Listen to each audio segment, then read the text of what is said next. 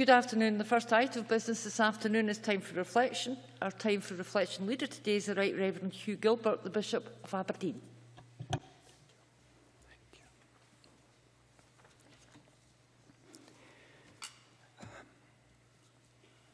Ladies and gentlemen, uh, before presiding officer, uh, ladies and gentlemen, before being bishop, I am a Benedictine monk.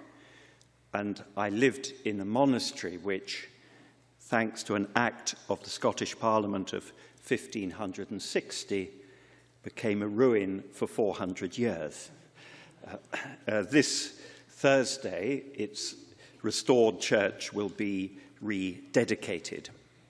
It's a privilege to be in this restored Parliament and uh, to offer simply encouragement, public service as a Member of Parliament, a legislator, as a Member of Government perhaps, is something worthy, generous, good, to use an old word, noble.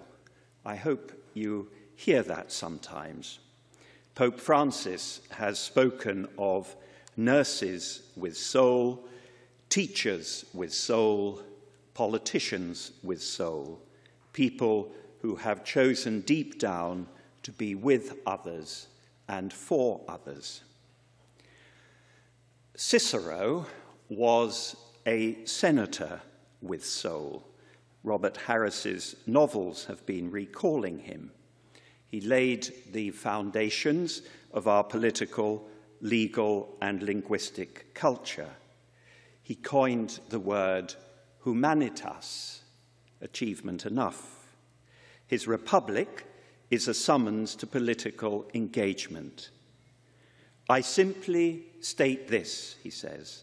Nature has given to mankind such a compulsion to do good and such a desire to defend the well-being of the community that this force prevails over all temptations.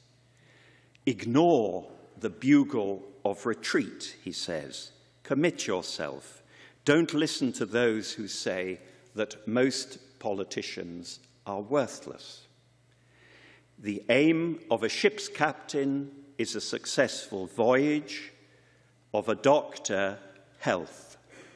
So the aim of our ideal statesman or lawmaker is the citizen's happy life. That is, a life secure in wealth and honourable in its moral character. That is the task I wish him to accomplish, the greatest and best any person can have. 2016 marks the 20th anniversary of the death of the Orcadian writer George Mackay Brown.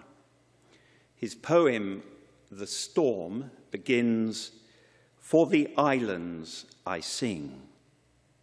This becomes, For Scotland I sing. For workers in field and mill and mine. And at last, praise tinker, and saint. Such was the scope of his poetry, a service of the common good, a way of being with and for, kept to through battles with alcohol and depression.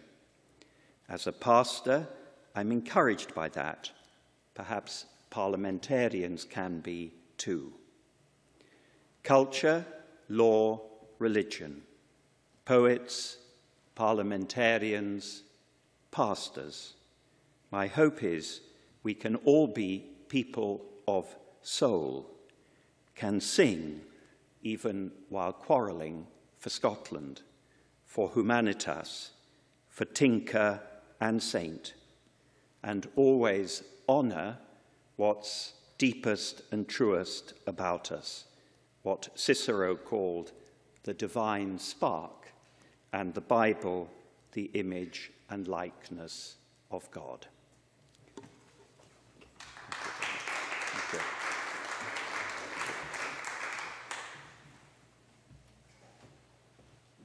Thank you very much indeed.